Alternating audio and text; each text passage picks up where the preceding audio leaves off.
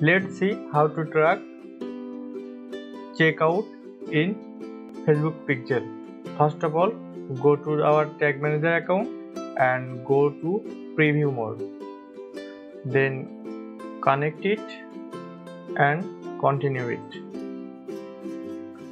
So this is our add to cart and go to the checkout page. This is the checkout page. Yes this is the checkout page. And go to the taxation.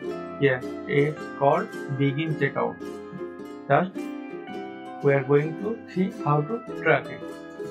So go to the tag manager account and make a trigger. Trigger will be just name it here. It's facebook checkout trigger and select a custom event and just copy this code and paste it here and save it. Let's go to tag section and make a new tag. Just give a name facebook begin checkout tag and select Facebook pixel select Facebook pixel code and select initiate checkout and object add property. Just copy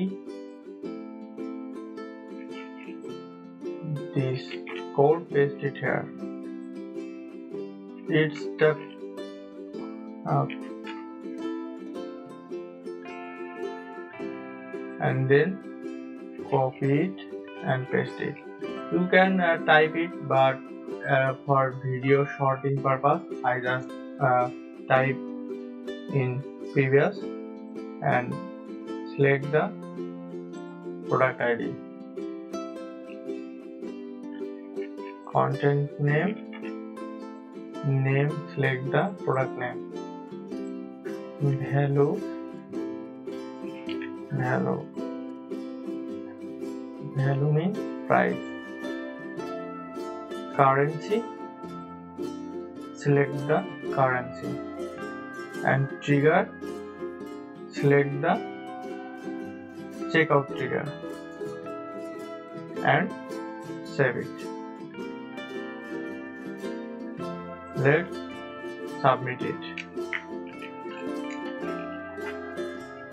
check out publish it so we have done already and just let's check it. Go to the home page and select the product add to cart the product check out the product. So let's check the add-on Yes, it's called initiate checkout.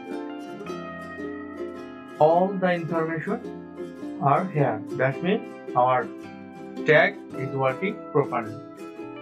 If you have any query, feel free to visit mdnasimreza.com and send me a message here.